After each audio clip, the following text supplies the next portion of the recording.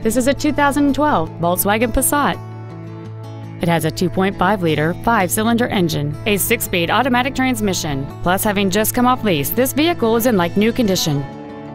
Its top features include Bluetooth mobile device connectivity, heated seats, satellite radio, heated windshield washer fluid, aluminum wheels, and traction control and stability control systems.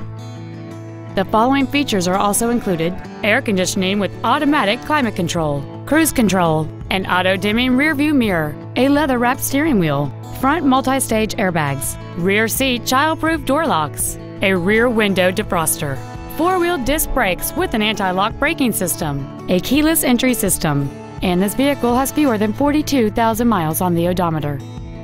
Contact us today to arrange your test drive.